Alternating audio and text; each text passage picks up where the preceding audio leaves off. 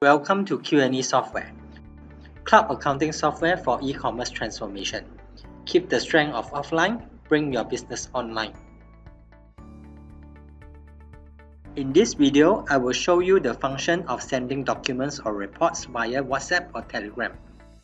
This function allows user to send any documents or reports in PDF format via WhatsApp or Telegram instantly. It is useful as well as saving time as manual document saving is not needed. The document is automatically saved in QNE Azure storage. A link to download the document or report will be sent to the receiver.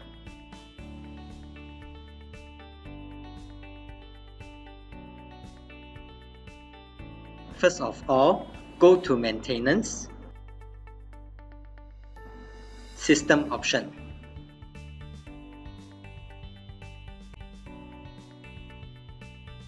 And click on the Report tab. User has the option to choose whether to use WhatsApp Desktop, WhatsApp Web, or Detect Automatically. For Detect Automatically option, system will automatically use WhatsApp Desktop if it is installed. If not, WhatsApp Web will be used. Next, Users are required to log in into their account whether it is WhatsApp desktop or WhatsApp web by scanning the QR code. To use this function, preview any document or report that you want to send. In this example, I will use sales invoice. Once the document is generated, click on the Send via WhatsApp button.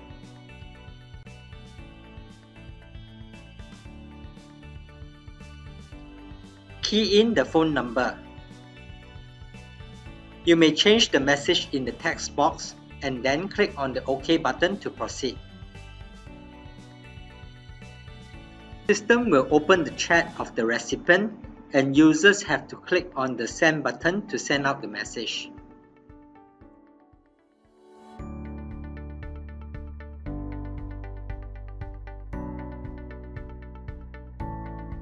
Finally, the recipient can download the document or report by clicking on the download link.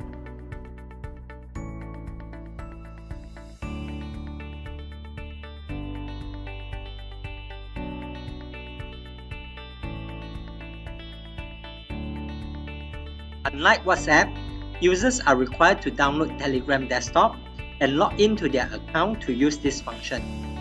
Users can share the report through Telegram by clicking on the Send as Telegram button when previewing the document or report.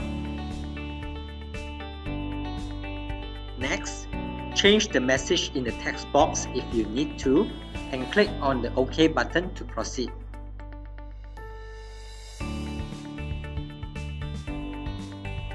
When Telegram desktop is launched, select the recipient you wish to send it to Users have to click on the send button to send out the message.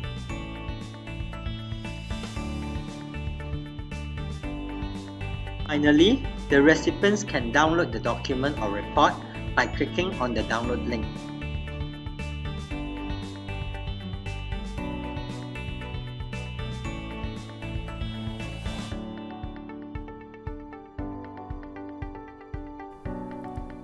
Thank you for watching.